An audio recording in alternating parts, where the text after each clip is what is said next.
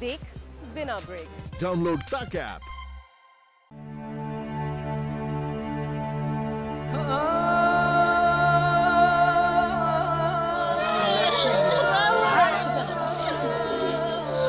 मेरे भतीजे थे जो इस फैक्ट्री में जिसमें आग लगी है। मेरे भतीजे। फायर हाइडेंट यहाँ पर नहीं है। किसी ज़माने में फायर हाइडेंट भी यहाँ पर होता था और पानी की लाइन भी यहाँ पर निश्चित रूप से सब आग के ढेर के ऊपर पुरानी दिल्ली है।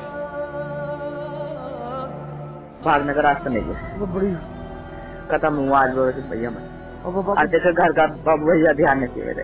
अब मेरे भाई। हाँ, भैया पाँच भी नहीं दिए यार मुनवर आज ये दुर्घटना जो देखी है ये दुर्घटना बार बार होगी यहाँ पर। क्योंकि ये रिहायशी इलाके हैं यहाँ पर कमर्शियल एक्टिविटियाँ होती हैं।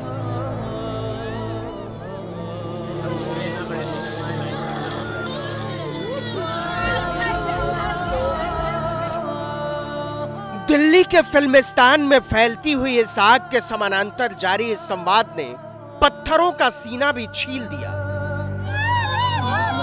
हिल गई धरती चीतकारों से। ऐसा लग रहा था जैसे कुछ बचा ही नहीं है। किसी के पास कुछ कहने को किसी के पास कुछ बताने को किसी के पास कुछ समझाने को। वो मेरा बहन छोटी बहन का दुल्हा है। इसका बास नाम है बास हमें देखा दो थोड़ा सा नहीं उन्होंने काफ़ी कहा कि इधर कूद जा उधर बच ले। तो मुशर्रफ ने बताया कि कोई रास्ता है नहीं बचने का। हाँ कि अब तो बस आखिरी वक्त है। नेताओं की मगरमच्छी संवेदना का पर्यटन शुरू हुआ। बड़ी बड़ी गाड़ियों से पहुँचने वालों ने मौतों का दाम लगाना शुरू किया। पाँच हज़ार से लेकर दस लाख तक। तुम्हारी दुनिया खाक हो गई तो हो गई हम खरीद लेंगे तुम्हारे आँसू। तुम्हारा दर्द तुम्हारी लुटी हुई दुनिया तुम तो बस दाम बताओ दाम। पाँच पाँच लाख रुपए। दस दस लाख रुपए का एक एक लाख रुपए मुआवजा दिया जाएगा।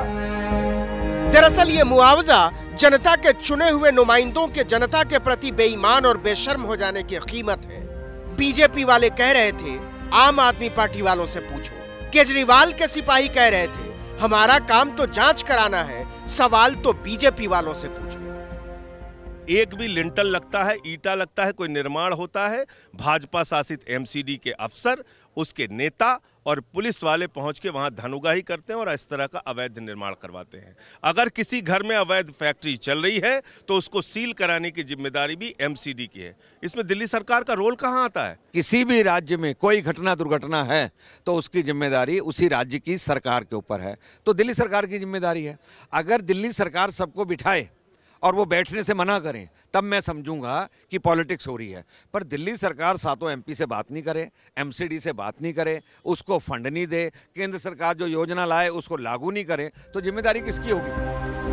ये आवाज़ें इस बात का बयान है कि इतवार की उस आग में केवल 43 लोग नहीं मरे हैं। सत्ता का ईमान भी खाक हो गया, जनतंत्र का भरोसा भी खाक हो गया, बदलाव का यकीन भी खाक हो एमसीडी को देखना चाहिए और दिल्ली सरकार को देखना चाहिए ये चीज़ है। और मालिक की ज़िम्मेदारी बनती है इसमें मकान मालिक तो पूरा देखना चाहिए बिल्डिंग का ताला नहीं मारना चाहिए लेबर बहुत तो उसमें मर गया ना। आज से 22 साल पहले जब उपहार सिनेमा की आग में उनसठ लोग जलकर मर गए थे तो लगा था कुछ बदलेगा। उस समय बीजेपी की सरकार हुआ करती थी दिल्ली में। और तब के मुख्यमंत्री साहिब सिंह वर्मा ने वही कहा था जो आज केजरीवाल बोल रहे हैं। बीच में पंद्रह साल तक कांग्रेस का राज रहा, लेकिन न आग बीजेपी बुझा पाई, न कांग्रेस और न आम आदमी पार्टी। सब एक दूसरे से लड़ते रहे, बस्तियाँ जलती रहीं, खाक होते रहे कारखाने, मरते रहे लोग। हिसाब देखेंगे तो आप सिहर उठेंगे। दिल्ली में आग लगने से औसतन एक आदमी की रोज मौत होती है। न दिल्ली सरकार कुछ करती है, न एमसीडी दिल्ली में आग लगने से रोज औसतन छह लोग झुलस जाते हैं। न दिल्ली सरकार कुछ करती है, न एमसीडी दिल्ली में फायर सेफ्टी डिपार्टमेंट के 45 फ़ीसद पद खाली पड़े हुए हैं, न दिल्ली सरकार कुछ करती है और न एमसीडी हर साल सैकड़ों लोगों की जाने जाती है आग लगने से, लेकिन बीजेपी की एमसीडी कह देती है, दिल्ली सरकार से पूछो और आम आदमी पार्टी की सरकार कह देती है एमसीडी से पूछो। और ये हाल तब भी था जब एमसीडी में कांग्रेस पार्टी का जलवा था और सरकार में बीजेपी का। जरा हिसाब देखिए पिछले तीन साल का। 2014-15 में आगजनी की घटनाएँ घटी तेईस हज़ार दो सौ बयालीस, मौतें दो सौ इक्यानवे।